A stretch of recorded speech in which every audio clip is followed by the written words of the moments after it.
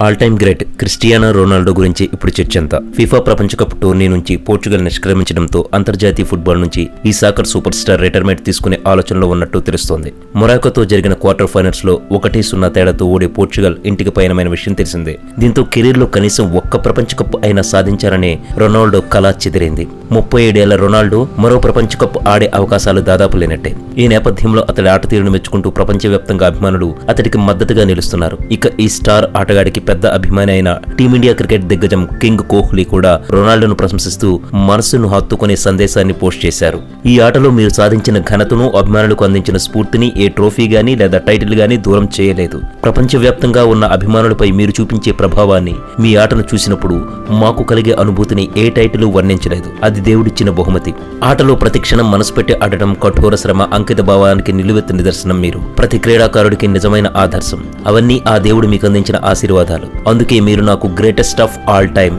అని రొనాల్డో గొప్పతనాన్ని కోహ్లీ కొనియాడాడు. ఈ ప్రపంచ కప్ నుంచి పోర్చుగల్ నిష్క్రమించిన తర్వాత తన కళ ఇక ముగిసింది అని బాధాతప్త హృదయంతో రొనాల్డో అన్నాడు. ఆ మ్యాచ్లో ఓటమి ఖాయం కాగానే ఒక్కసారి పైగా భావోద్వేగానికి లోనైన రొనాల్డో మైదానంలో చిన్నపిల్లాడిలా వెక్కి వెక్కి ఇచ్చాడు. అతడు కన్నీళ్ళను తుడుచుకుంటూ డ్రెస్సింగ్ రూమ్కు వెళ్తున్న చిత్రాలు సోషల్ మీడియాలో వైరల్గా మారాయి. ఫుట్బాల్ చరిత్రలో అత్యంత గొప్ప ఆటగాడిగా పేరున్న రొనాల్డో కెరీర్లో వరల్డ్ కప్ ఓ లోటుగానే మిగిలి ఉంటుంది.